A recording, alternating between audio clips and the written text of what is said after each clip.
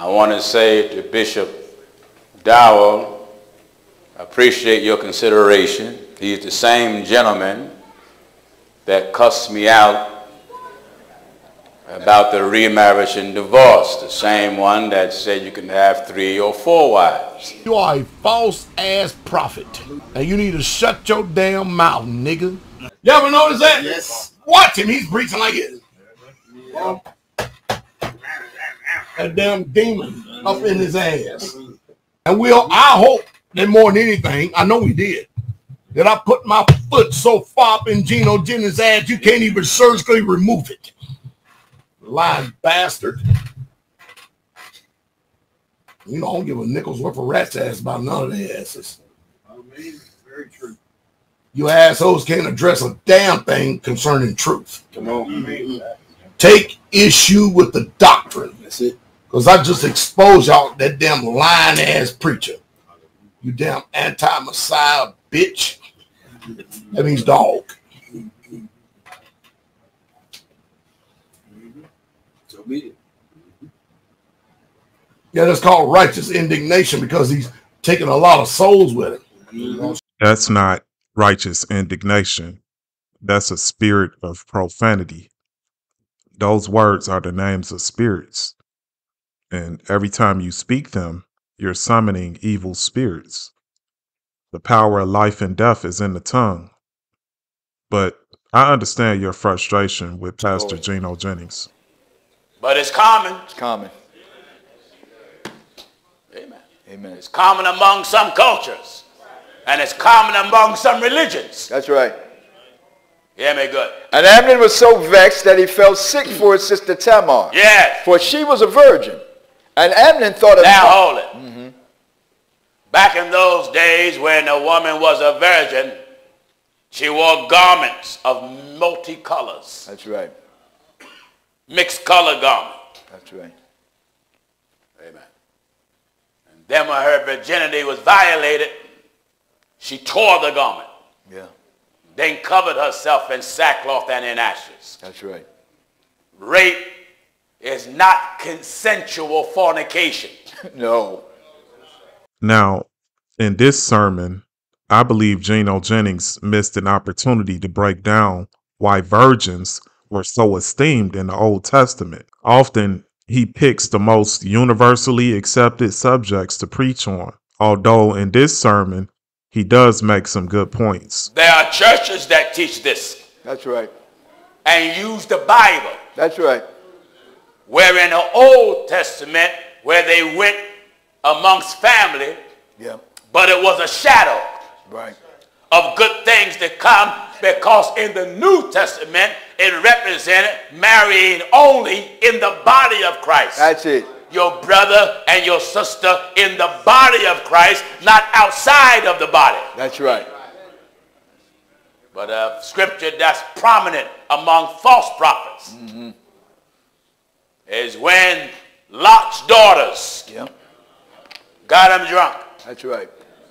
and then laid with their father. Their Father. And one daughter, son name was Moab, Moab. who is the father of the Moabites. The other son is Ammon, Ammon. who is the father of the Ammonites. That's right. So they use scripture Yeah. of events that's past and not allowed today That's right.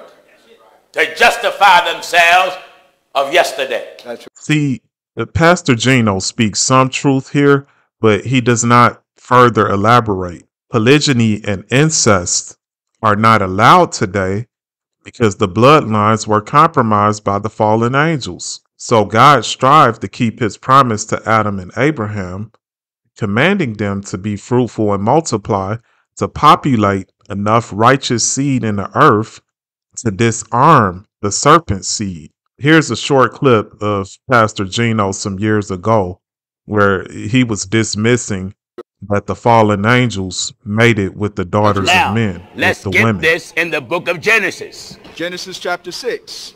This is where preachers have lied mm-hmm, and said angels mm-hmm, had sex with women. Now, for those who watch this video Ask Pastor Gino, why did God curse Eve in that area of her body with the blood flow of impurity? If she was not defiled sexually by the serpent, why would he curse her in that area? Especially considering that 1 Corinthians chapter 6 verse 18 says he who commits fornication sins against his own body. That's right. Are you listening to the old troublemaker? That's right. Preachers have said that the falling angels mm-hmm. had sex with the women of the earth, and the women birthed giants from having intercourse with angels. That's right. Come tell me that lie and make you lick it up. That's right. I stretch your tongue from earth to heaven, from heaven to earth. Amen. Let me show you the lie. Mm-hmm. Listen, Genesis chapter 6, we'll start at and verse then 1. let's get further in Joshua. Mm-hmm. All right, let's go to work. Genesis chapter 6 and at verse 1. Genesis 6 and 1. and it came to pass when men began to multiply on the face of the earth. Now, when men begin to multiply on the face of the earth, in order for that to happen, men had to go to women. That's right. And then women begin to get pregnant and have children. Mm-hmm. All right, men begin to Men. multiply. That means women was having children, having babies. Right. All right. And daughters were born unto them. Daughters was born unto them. That the sons of God saw the daughters of men that they were fair. Now, that very title, sons of God, offset men. Right. Sons of God, mm -hmm. it confused the preachers. Right. The sons of God were the daughters of men. That's right. Don't you hear the Bible say, now we are the sons of God. That's right. Sons of God simply meant the men of the earth because the men were made in God's image. That's right. Listen, That the sons of God saw the daughters of men that they were fair. and what? And they took them wives of all which they chose. Took them wives of all they have chosen. Mm-hmm. Now let me show you the stupidity of the preachers. Mm-hmm. It's impossible for an angel to have sperm. That's right. Not if they left their first estate, sir. Angel from heaven From heaven. To have sperm. That's right. Because sperm carries blood. That's right. Huh?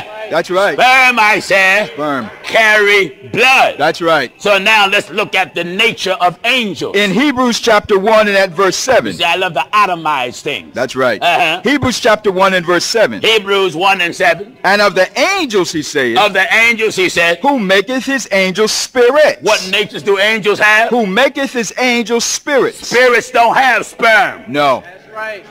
Spirits don't have babies. No, no, no. Now, another lie that the preachers said, they said those were the falling angels. Right. That went unto these women. That's That's right. another lie. That's right. The angels that was cast out of heaven, they're in prison. In prison. That's Give me the book of Jude. Jude chapter 1 and at verse 6. You get what I'm talking? Amen. Give chapter and verse again. Jude chapter 1 and at verse 6. What is it? And the angels which kept not their first estate. The angels that did not keep their first estate. But- holy. The first estate of the angels mean they first place. They were holy. Holy. You see, when God made the angels, they was made holy. That's right. They didn't have to strive to become holy. No. They was made holy. Okay. Allow me to unpack his misrepresentation of the scriptures.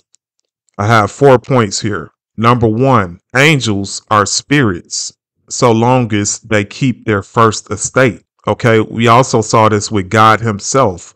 Christ, the Word was made flesh. You see that. So that's evidence that a spirit, God, can be made flesh, especially since flesh was created by God. Okay and the fallen angels again did not keep their first estate. Number two, those angels that he mentioned that are in chains of darkness, mentioned in the book of Jude, they are there because they defiled themselves with women. Okay, their first estate was holy before they were defiled in their bodies. The scriptures say some have entertained angels unaware. So they certainly take on the appearance of men or human beings, and they even ate food in the book of Genesis. Okay, the estate represents their body, their their host. Okay, their person. All right. The scriptures refer to this mortal body as a house. It also refers to it as a tent, a temple. You see that. But if you are carnal, you cannot fathom how this body is a house or a tent. Okay, such is the same with the angels. But Genesis chapter 6 emphasized that they were giants. Okay, they put great emphasis on them being giants. Such was not the case before. Otherwise, there's no reason to be talking about the, the sons of God mating with the daughters of, of men. Okay, because they were already doing that beforehand. You see what I'm saying? And of course, God Himself is a spirit. And again, He appeared in the flesh. And He was able to shed His blood, which is even more of a mystery that it's a covenant, a blood covenant for every human host. Okay. It's a blood covenant for every human host that He shed it for. Okay. Pastor Gino is also in error, claiming that God cannot shed blood and God cannot die. This is why he believes Christ was not God on earth. Listen, And the angels which kept not their first estate. the angels that kept not their first estate, but left they left their own their habitation. own habitation. He hath reserved an everlasting chain. He has reserved the everlasting chain under darkness, Under darkness. unto the judgment of the great day. Where are they? In everlasting chains under darkness. Them angels that was cast out of heaven, they're in chains. everlasting They, chains. how long? everlasting Their chains. chains are eternal. That's right. And God have never gave one parole to have sex. No, no, Huh? no, no, No, they, they, they, they didn't, have a parole and No. had a little uh, ankle bracelet. no, And, no. Ever, everlasting went to a chains. Fool. Amen. These dumb, ignorant preachers, think of it. Angels going around and having sex. My Lord. Angels are spirit. That's right. Spirit don't have sperm. Ye do err in not knowing the scriptures. Why did they tell? Give chapter and verse. Matthew chapter 22 and at verse 29. This is give you give. This will give you the reason why the preachers told that lie. Ye do err The- not the error. knowing the scriptures. The error. error. The error. The error. No, you're the one who erred, Pastor Gino. You just lost your only way to explain in depth why fornication is a sin and why polygyny is a sin. Also, you cannot explain how demons possess human beings without explaining how they came to access their bloodlines. All right, the human beings, their bloodlines. You can't explain the greatest sin Satan committed. All right, so let me explain it. Now, I've already established how God cursed Eve in the area where she committed fornication. Okay, the flow of her impurity was corrupted by the serpent's seed. So here's the bloodline timeline, if you will. Okay, after Genesis 3, in Genesis chapter 4, verse 1, it says Eve gave birth to a man. A lot of people run over that scripture. Okay, she did not give a birth birth to a baby like women do today. Okay, because again, the bloodlines were not cursed like it was immediately after Adam and Eve fell. Okay, so they didn't feel the full effects of that curse of pain and sorrow and conception that God cursed Eve with. It would be perpetuated throughout the generations. Okay, because the curse could only advance as far as the severity uh, the sin would take it.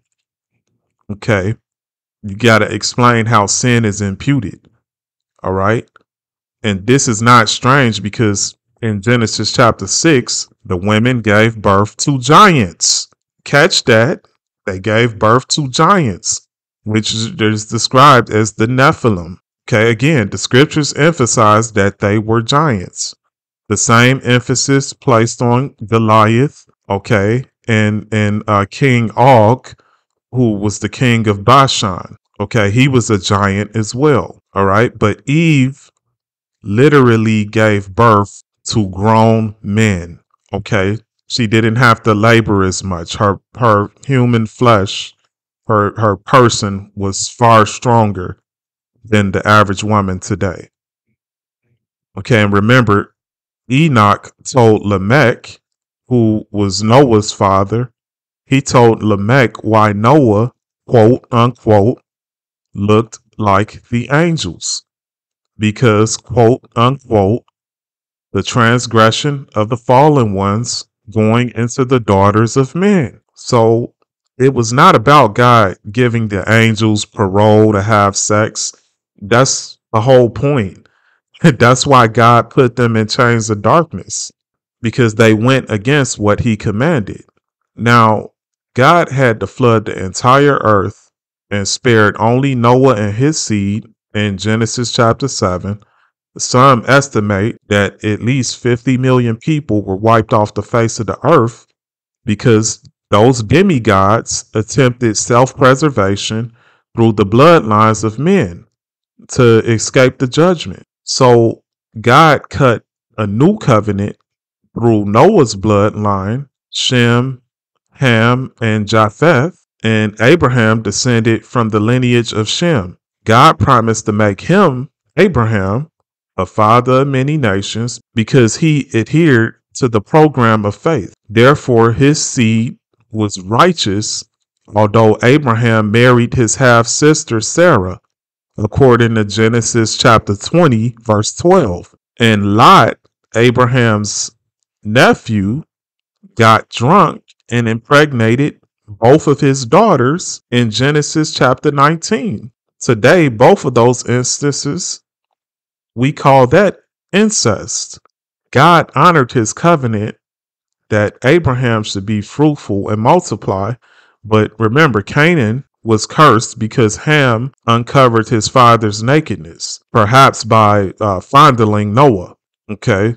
That was some sick, perverted act that he committed. So Abraham's descendants were all commanded not to intermarry with the Canaanites just because of that one man's sin.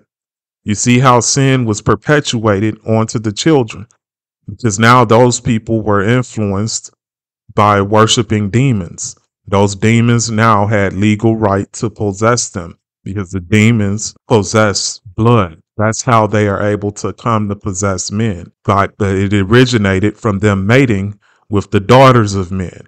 I'll get to that later. But catch this. Even if it meant committing incest with their daughters and sisters, God was still going to deal with Abraham's descendants and keep them from intermarrying with people who were not in their bloodline, which would have not been incest at that time like it is today.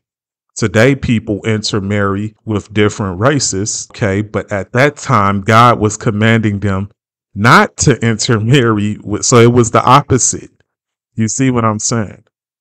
That's that's how great the impact of those fallen angels corrupting. If you don't explain that, you can't condemn anyone of fornication. You're not giving them the reason why, some of the intricacies of why fornication is a sin. He's a false teacher. But let me continue. So Noah's bloodline was pure. Okay. And Abraham's seed was the most pure of his generation. So by the time we get to Jacob and Esau, uh, their birth in Genesis chapter 25, Rebecca notices that Esau is red and hairy. Now, this was the imprint perpetuated again from the transgression of the fallen ones. Now, God had to make a new covenant with Israel, the 12 sons of Jacob, which are the 12 tribes of Israel, because Esau disobeyed and married the foreign women. So, under the law of Moses, God instituted a penal system unlike any other in human history, just again to keep the Israelites holy and set apart from the pagan nations. Okay, these pagan nations had tainted blood. Leviticus chapter 15, verse 19 says, If a woman has a discharge and the discharge from her body is blood, she shall be set apart seven days, and whoever touches her shall be unclean until evening. Verse 20 Everything that she lies on during her impurity shall be unclean. Everything she sits on shall be unclean. okay, verse 21. Whoever touches her bed shall wash his clothes and bathe in water and be unclean until evening. Okay, so throughout Leviticus chapter 15, the woman's impurity was regulated. And at this phase in history, men were permitted to have multiple wives so long as they were able to keep the Levitical laws of impurity. Why? Again, because the fallen angels produced evil spirits with the women, Pastor Dow. Okay. This is why you can't have multiple wives to this day because of that sin committed by the fallen angels. And also, men on the earth, particularly the the Israelites, disobeying God, and they married the Canaanite women, and they married those foreign women. Okay, their blood was tainted. We go to the book of Enoch, chapter 12, verse 4. It states again how the watchers of heaven, the angels, were created in heaven and not on earth like men, Pastor Gino. Those watchers leaving their first estate, which was heaven, their their host, their human host or their angelic host was of heaven. Okay, their person. But when they defiled themselves with women, they took unto themselves wives. Okay. Verse 5 says, Ye have wrought great destruction on the earth and ye shall have no peace nor forgiveness of sin. So God say they're gonna have to pay the penalty for this. Okay, which is was those chains of darkness. Okay, uh, uh, Enoch chapter 15, verse 3 states again, Ye have left the high, holy, and eternal heaven, laid with the women, defiled themselves with the daughters of men. Uh, verse 4 states the watchmen defiled themselves with the blood of women. Okay. Now, prior to Eve's encounter with the serpent, her blood was not defiled. So the only reason the angels and the woman was defiled is because God created them male and female. Anything else is perversion, which is not fitting. So now the spirits of the fallen ones produce demons who spiritually roam the earth to destroy men through the tainted bloodlines. Okay. Leviticus chapter 17, verse 14 says, The life of all flesh is its blood. So there were 600 plus laws in the Torah to prevent the Israelites from getting demon possessed. This is why, under the Torah, particularly Leviticus chapter 18, verse 6, incest is no longer permitted, and the penalty was that they were to be stoned to death. That was the only way they could cast the demon out. They had to stone the person to death to cast the demon out. But God still permitted men to have multiple wives at that time because the bloodlines had to be pure enough to birth Christ into the earth. We know that the Israelites forsook the law of Moses and again took foreign wives after the witchcraft of Balaam. So, question, Pastor Dow, 4,000 years later, has the problem got better or worse? Okay, Jerusalem has gone into captivity and this is the time of the Gentiles. Okay, we're not we're no longer under that law of Moses where they had laws to stone people to death if they broke the law of marriage and divorce and giving in marriage. Okay, laws of adultery, incest, and so forth. From First Corinthians chapter 7, 9 to the end of times, the dynamics of marriage inherits even more restrictions. First Corinthians chapter 7, verse 9 says, From now on, those who have wives should be as though they have none. And in Revelation, God destroys the earth because the bloodlines will be so corrupt that before man has to face the burden of living on an earth with no marriage because the bloodlines are so tainted, God said before before it gets to that point, I'm just going to destroy the earth. Then there'll be a new heaven and a new earth where there is no giving, marrying, and giving in marriage. You see that? So perpetual plague of the tainted bloodlines just gets worse and worse. That's the in-depth teaching here. Okay, you gotta outline these details. Okay, and since sex is the exchange and mixing of blood, the old covenant is a shadow of the new covenant. And the new commandment is do not be unequally yoked with unbelievers. But unlike the old covenant, where the Israelites were saved so long as they were not put to death for breaking the law of Moses, the new covenant, because the grace of God has been turned into lasciviousness, there are far less partakers in the faith than there were under the law of Moses. Most people are going to the lake of fire, according to Matthew chapter 7, verse 13 and 14. Now, what does that have to do with marriage? Okay, there in turn are far less believers for men and especially women to choose from. So the issue of monogamous marriage and uh, polygyny is an issue of eternal life or damnation. Okay, because again, God commanded us not to be unequally yoked with unbelievers. There's a reason why King Solomon was warned by God that those wives will turn his heart from the Lord. God already prepared the Israelites to adopt that type of righteous mentality in Deuteronomy chapter 17, verse 17. He said, A king shall not multiply wives for himself, because Satan can possess the woman far more than the man. Okay, that, that's how Satan came to corrupt the bloodlines through the woman. And again, life is in the blood. But the woman loses so much blood every month. Okay, it's one of the reasons why the scriptures say she is the weaker vessel. Okay, so in closing, God flooded the entire earth, killing millions, destroyed Sodom with fire. Sodom and Gomorrah, he destroyed with fire. Okay, he instituted the law of Moses and even bruised his own son just to offset the tainted bloodlines initiated by the fallen angels. Okay. And that, my friends, is why fornication is a sin.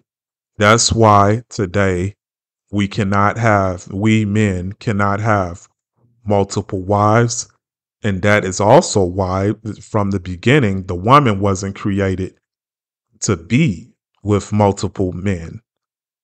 Okay she because she's further corrupting herself. She was already corrupted from that initial sin of the serpent, then further corrupted by the fallen angels. Again, we get the flow of impurity, the bloodlines. Before that, Eve didn't have an impurity. So I hope you guys understand this. Gino Jennings, what I just broke down to you, he'll never break that down in his teachings. Okay what he's saying is true that yes, you can't have multiple wives, but he's not giving you the details like what I just explained.